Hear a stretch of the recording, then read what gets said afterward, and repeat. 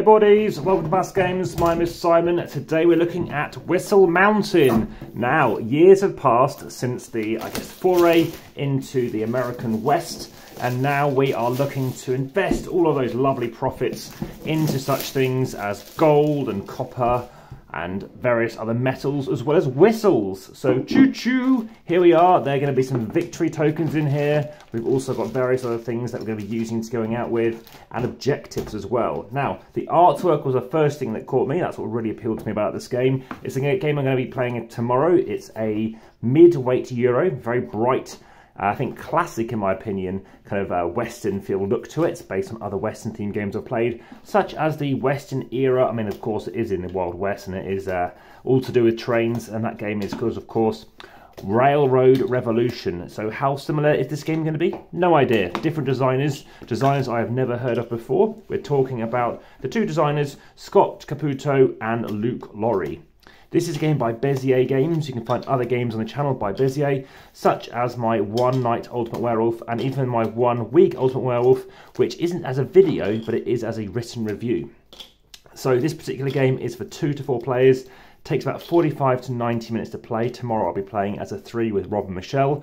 Any questions, do let me know in the comments are best on YouTube. Like, subscribe, and hit the notification bell. You may have actually spotted this game on the shelf in my best of the month video in, in the background. So obviously it wasn't then because this is only just being opened and I'm, unlike in 1980 or 1887, I was not time traveling as of course Dr. Emmett Brown was. However, if you want to head through to the podcast, obviously check that out via the description YouTube. Also head through to Instagram as well, where you'll find pictures over there too, as well as TikTok, X, Threads, and there are various other places too. And again, any questions, you can speak to me via YouTube because this does get shared elsewhere. Please do, of course, share as well, and of course, like, and let me just make sure we're zooming in a little bit more until we get onto the board. So yes, this does seem very nice appeal, very nice table presence.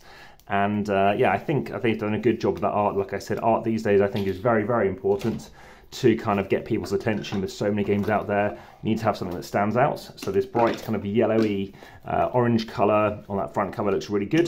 This is a Kallax-sized ticket tried game. Again, another board game that is revolving around trains. There are many games about trains. It's one of the most popular mechanisms or most popular setting that you do get for board games. In fact, I believe it's number one because of all the 18xx games.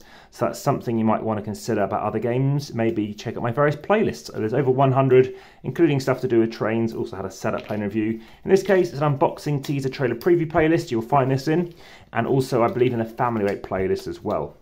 So we nearly punched out most of the stuff. We have lots of baggies. Uh, generally speaking, I do recommend you punch out your baggies, get your stuff ready, because most of the stuff will be sorted into those respective areas. There's a deeper dive into this just to see what else we've got. There's some more punch boards. Also, again, being a Euro style game, check out my videos coming to do with top 10 Euro games, maybe top 5, as well as also look at this lovely jigsaw thing you're putting together. Also check out my Asian top 5 or top 10 as well, which I think you'll find of interest. That is going to be a uh, collaborative effort with Jay over in the United States. So there we go, that's most things punched out. I think I'm going to zoom out now and leave you to it. Let's leave you with that uh, Whistle Mountain box cover again. Very, very nice. And lastly, if we just have a look at the density of that rule book, let's see how many pages we're talking about. So we've got a nice player reference on the back. I haven't seen any player aids, but there might well be one. 20 pages for now. That's been Whistle Mountain. Back to the table.